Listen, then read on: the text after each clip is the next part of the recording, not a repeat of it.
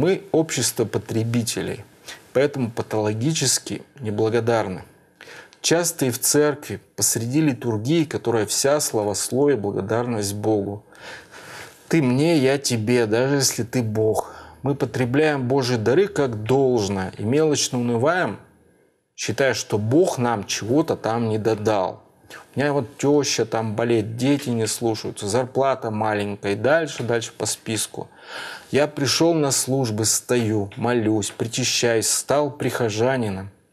Поэтому, Господи, Ты уж не замедли, разберись с моими проблемами.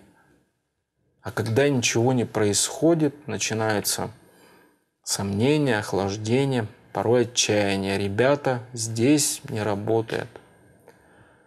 Все, что у нас есть, здоровье, семья, друзья, вера, возможность каждый день видеть красоту Божьего мира, это мы само собой принимаем. А вот с моими проблемами бы разобраться, вот это.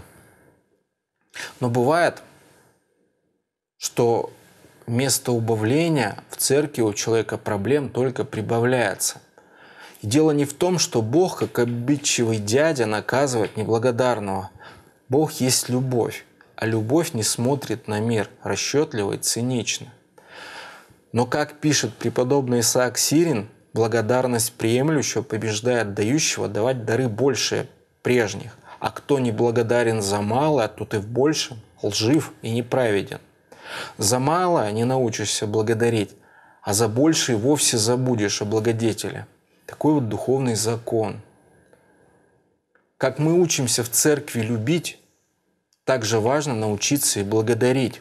Благодарить даже когда жизнь вокруг совсем к этому не располагает. Почему? Лучше об этом сказал свидетель Николай Сербский. Благодарность Богу воздвигает нас смертных, исцеление смертного освобождает от привязанности к тому, с чем мы однажды расстанемся и прилепимся к живому бессмертному Богу.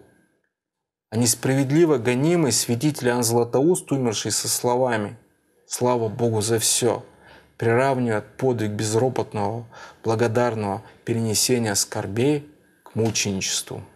Он пишет, нет ничего свети языка, которым в несчастьях ты благодаришь Бога, кто перенес скорбь, благодарил Бога, тот получит венец мученический. А это уже прямая дорога в Царство Небесное. Такие дела. Thank you